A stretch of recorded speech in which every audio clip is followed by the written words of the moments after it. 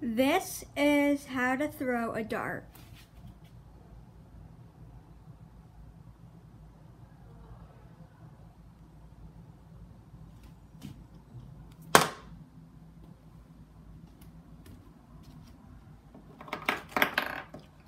Hold the dart in your hand like this. Index finger and thumb. Aim at the dartboard and throw.